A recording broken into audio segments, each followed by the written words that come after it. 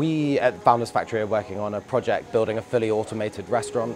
Over the last 48 hours, we've got about 50 robotic students from Imperial working on three different briefs, one around food preparation, one around food wastage, and the other around entertaining. We're really looking to bring in that talent around the idea, so hopefully that they can go on and launch it with us.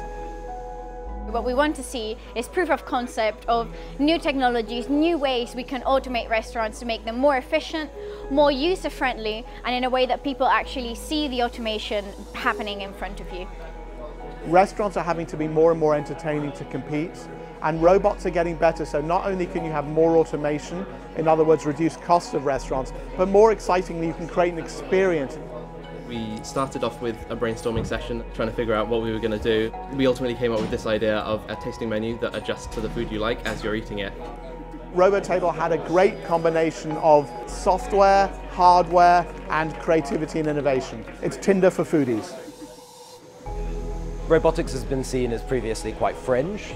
However, now people are becoming more comfortable with it. There's a really big opportunity to build stuff that humans couldn't be able to do. The timing is now. Artificial intelligence and the dropping prices of robotics means that all these ideas that we used to think about that were gimmicks, they're now real and they're coming to a restaurant near you, so we need to be starting now.